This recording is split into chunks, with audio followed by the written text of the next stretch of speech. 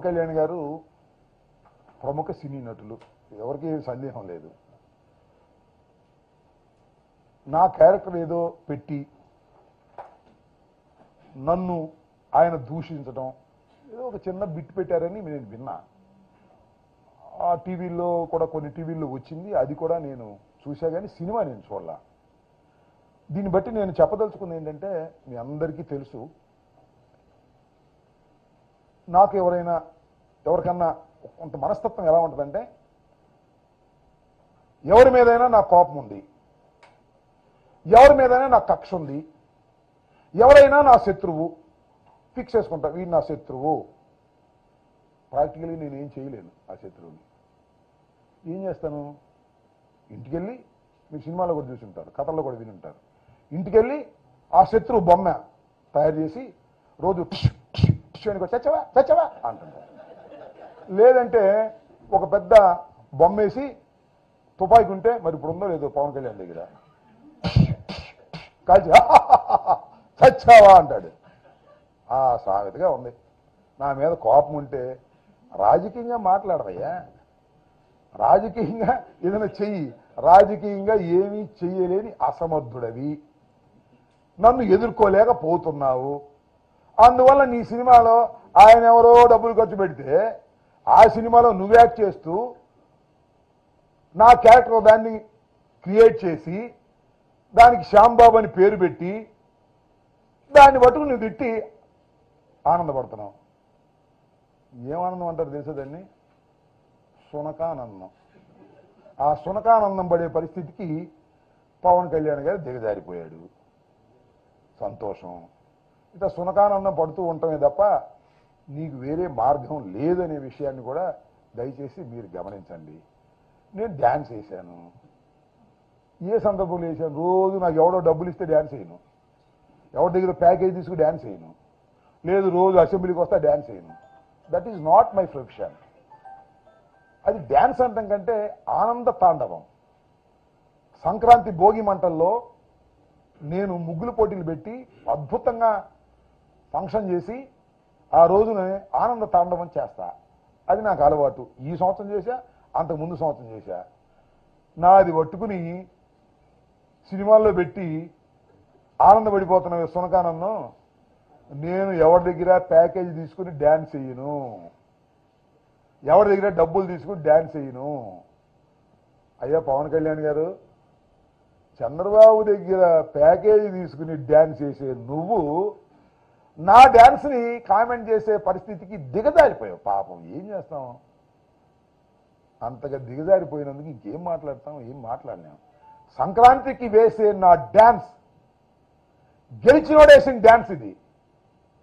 సత్తెనపల్లిలో గెలిచి మంత్రి అయ్యి సంక్రాంతికి డ్యాన్స్ వేసా గెలిచినోడు డ్యాన్స్ వేస్తే సంక్రాంతి ఓడినోడు డ్యాన్స్ వేస్తే చీకటి రాత్రి.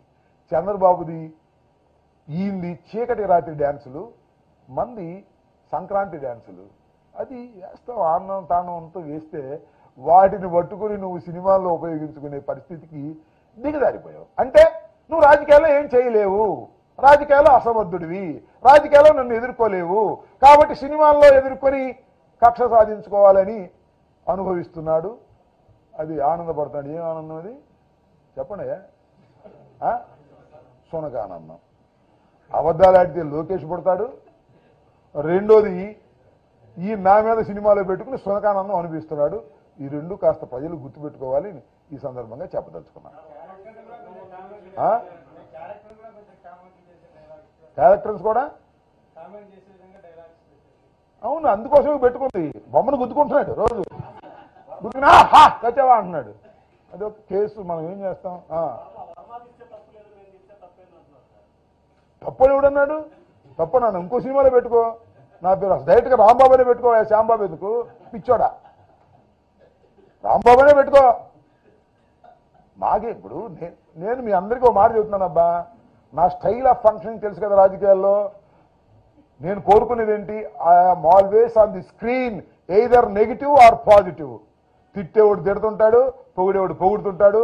సినిమాలో నా వేషం వేసి నన్ను తిట్టి ఆనందపడుతుంటాడు. పండి ప్రజలు జరుగుతుంటది కదా I don't care all these things నాకు ఇవన్నీ తెలుసు చిన్నప్పటి నుంచి రాజకీయాల్లో ఉన్నవాడిని. ఇందాక చెప్పే కదా మా అన్న సినిమా యాక్టర్ అయితే నేను సినిమా యాక్టర్ కాల? మా నాన్న ఎమ్మెల్యే అయితే నేను ఎమ్మెల్యే కాల? కష్టపడి రాజకీయాల్లోకి వచ్చా. రాజకీయాలు is my fashion not now చిన్నప్పటి నుంచి స్టూడెంట్ లీడర్గా పెరిగినవాడిని నేను. వచ్చినవాడిని నేను. రేపల్లో జూనియర్ కాలేజీలో స్టూడెంట్స్ యూనియన్ ప్రెసిడెంట్గా గెలిచా. రేపల్లో డిగ్రీ కాలేజీలో స్టూడెంట్స్ యూనియన్ ప్రెసిడెంట్గా గెలిచా. వైజాగ్ ఎన్విపి లా కాలేజీలో స్టూడెంట్స్ యూనియన్ ప్రెసిడెంట్గా గెలిచా. డైరెక్ట్గా వచ్చి సత్యనపల్లి రేపల్లో ఎమ్మెల్యే అయ్యా. రాజశేఖర రెడ్డి గారు అప్పుడు అపోజిషన్ ఎంపీగా ఉన్నారు. విజయభాస్కర్ రెడ్డి గారు చెన్నారెడ్డి గారు జనార్దన్ రెడ్డి గారు ముఖ్యమంత్రిగా ఉన్న సమయంలో. సో స్వశక్తితో వచ్చినటువంటి వ్యక్తినే నన్ను చూసి ఈర్షపడుతున్నావు నాకు అర్థం కాలేదు. పన్నై ఎవడ కర్మ వాడిది? ప్రజలు ఉన్నారు కదా తేల్చేవాళ్ళు. చంద్రబాబు చెబితే ఈయన డ్యాన్స్ చేస్తుంటాడు. నేను ఎవరు చెప్పినా డ్యాన్స్ చేయను. నా సంక్రాంతి పండుగ మా ఊళ్ళో మా ప్రజల మధ్యన డ్యాన్స్ చేస్తాను. మళ్ళా వేస్తాను ఈసారి మళ్ళా భోగికి మళ్ళా డ్యాన్స్ చేస్తాను. పవన్ కళ్యాణ్ గారు వచ్చేది మీరు కూడా చూసుకోండి. లేకపోతే టీవీలో చూసుకోండి. అర్థమైందా? మళ్ళా భోగి జనవరి పద్నాలుగు నా డ్యాన్స్ ఉంటుంది. అది సింక్ అయితే సింక్ అయితే తర్వాత చూద్దాం. నా డ్యాన్స్ సింక్ కావట్లేదంట. నేనేమన్నా డ్యాన్సర్ మాస్టర్నా? నాకేమన్నా రిహార్సల్స్ ఉంటాయా? నేను డ్యాన్స్లో సింక్ అవుతానో లేదో ప్రజలు చూస్తారు. అసలు నువ్వు రాజకీయాల్లో సింక్ కావట్లే అది చూసుకోను ఆ? ప్లస్ అయిద్దో మా సినిమా ఉందో ఆడుతుందో లేదో మనకు తెలియదు అంటే ఫిఫ్టీ పర్సెంట్ అటు ఇటు కాకుండా ఉందన్నమాట. మనం నాకు ఆ సినిమాలు పోవాలని నేనేం కోరుకోను? మన తిట్టం వల్ల సినిమాలు ఆడతాయంటే ఆడించుకోమను ఇంకా తిట్టుకోమను. మనకేంటి పవన్ కళ్యాణ్ అంటే మీరే హైలైట్ చేయాలి సార్ అందుకే ఆ? వాళ్ళందరూ బాధ పవన్ కళ్యాణ్? ఏమో మరి ఒక్కోసారి అంతే అది జరుగుతుంటది. తాను ఒకటి తలిస్తే దైవం మరొకటి తలవును. నన్ను తిట్టాలనుకుంటే అది నాకు ప్లస్ కావచ్చును చెప్పలేను. I don't care all these things okay? ఆ? చూడు. అదేంటయ్యా? చూడాల్సిన అవసరం ఉంది ఆల్రెడీ యూట్యూబ్లో వస్తుంది కదా. ఎప్పుడో చూస్తాం అప్పుడు వెళ్తే మళ్ళీ మీరందరూ అందరూ పవన్ కళ్యాణ్ సినిమా చూసాడు అంబటి రాంబాబు అంటారు. పవన్ కళ్యాణ్ సినిమాలు చాలా చూసా చిరంజీవి సినిమాలు చాలా చూసా. నేను అసలు పెద్ద సినిమా పిచ్చాను ఇప్పుడు మానేసే కానీ టైం లేక అన్ని సినిమాలు చూసేవాడు నేను. ఎన్టీ రామారావు కింద. ఎవరు నువ్వు? నేను పూర్తిగా నటిస్తే వాళ్ళు కంగారు పడాలి.